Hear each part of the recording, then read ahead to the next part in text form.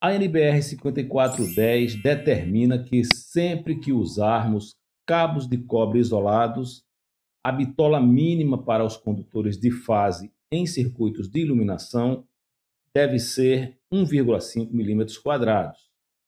Essa bitola é muito comum em circuitos prediais, mas em iluminações industriais, onde as lâmpadas têm normalmente uma potência mais elevada, essa bitola pode ser bem maior. Mas, em hipótese nenhuma, pode ser menor que 1,5 milímetros quadrados.